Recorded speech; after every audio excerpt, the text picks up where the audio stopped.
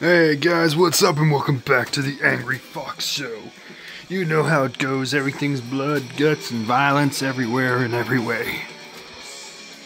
Now you can tell by the music in the background. Oh yeah, things got real when I played fucking Skyrim.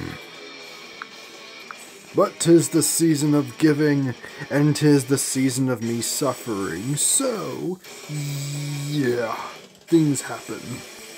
But it's okay. At least we'll be looking forward to Resident Evil again. So yeah, Resident Evil. We're going back right to it uh, tomorrow, December 5th. So December 5th, we're going back into the evil that is Resident Evil. So we're going to be seeing more of that. Nightmare Fuel. So that should be fun.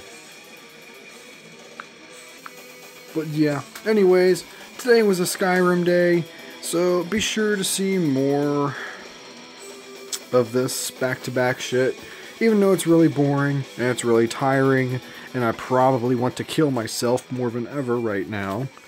But hey, I'm just gonna deal with it, because dealing with it is what I do.